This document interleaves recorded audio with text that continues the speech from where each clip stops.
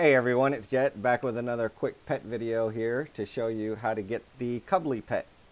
Now this pet is located in Thaldraszus, uh, right down here in this little area. Uh, the cords are 54, 33, 82, 74.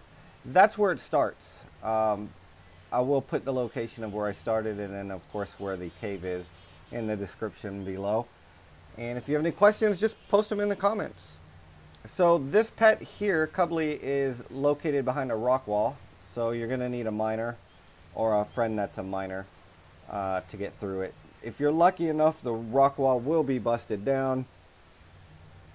Or if you're renowned 20 with the Dragon Scale Expedition, you can get the Expedition Explosives, which will break down the rock wall.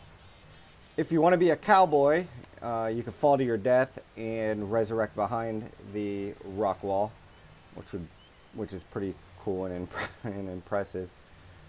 But as you can see, I'm standing right here uh, behind this temporal investigator, this book here. Now, when you pass this book, you'll start going into a time dilation field where you'll start getting stacks of buff, which will decrease your movement speed.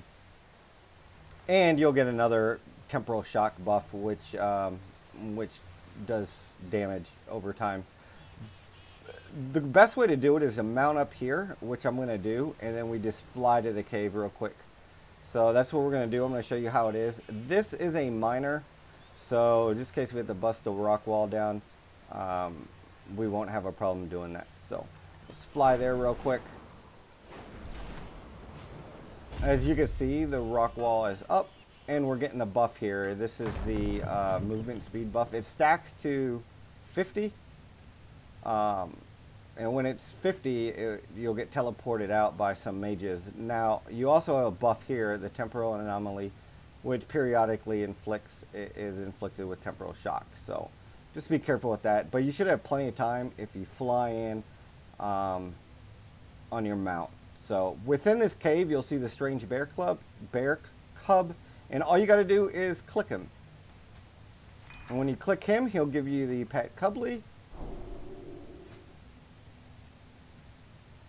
and this pet is not cageable. So we can't sell it on the auction house. It's really just for uh, if you're a collector to fill out your collection or a completionist. So I hope this video helped and good luck with your pet collecting.